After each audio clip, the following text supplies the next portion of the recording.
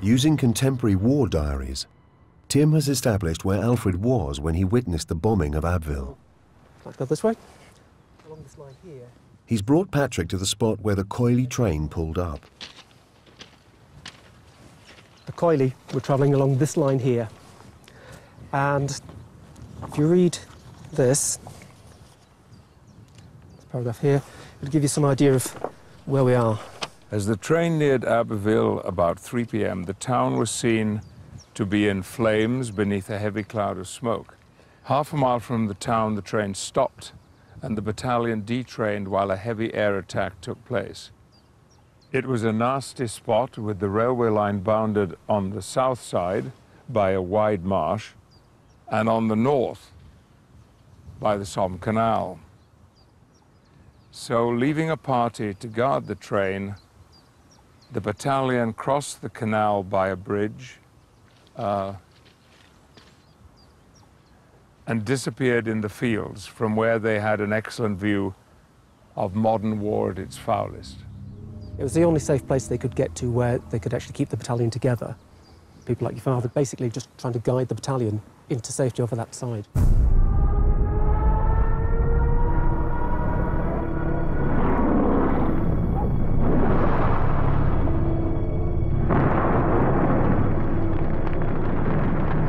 What they could see was the, the bombing raid ahead.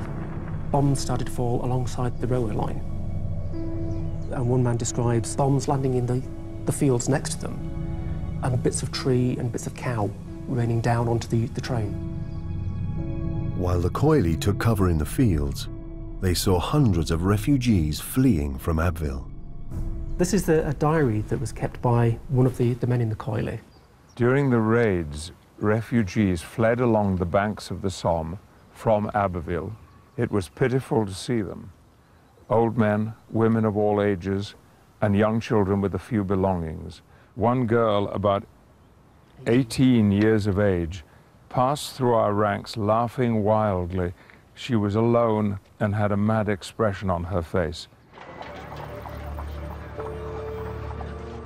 By now, there were around 8 million refugees in France, fleeing from the fighting.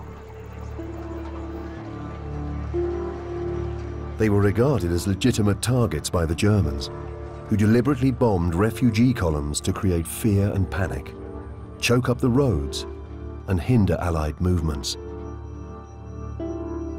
Looking down the line, you, would see the smoke, you'd see the refugees coming down the line here. Yes. The stream. It, it must have seemed like a nightmare, a nightmare of bloody chaos. Yeah. During a break in the bombing, the driver of the train drove off and never returned. Now, with no means of transport, Alfred and the troops had no choice but to retreat. They set off down the railway track on foot, away from the burning town. The KOYLI and your father set off, but on the way they came across damaged trains, including a hospital train. And it was wrecked, and, and one man describes walking along the train and seeing two children laid in the grass and realised they were both dead, killed by the blast. Not a mark on them. And these were men who had never seen sights like this before. No.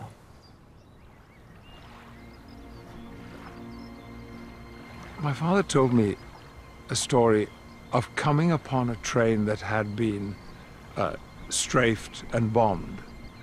And he noticed as he went by one shattered window that there was a hand hanging out, a woman's hand, with a ring on her finger. He noticed it as he went by. And then, sometime later, coming back up the train, he saw that the hand was still there, but the finger that had the ring on it was gone. Well, I was a child when he told me this story. And of course, it, it both fascinated and horrified me. But I do remember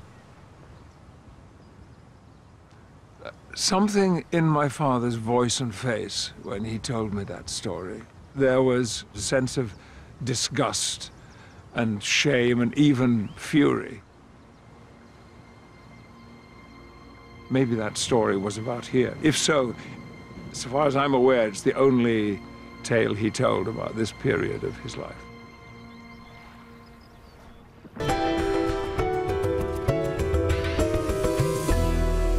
Train full of Belgian troops with artillery and machine guns traveling in opposite direction to us. They grinned at us and made gestures of throat cutting, pointing in the direction.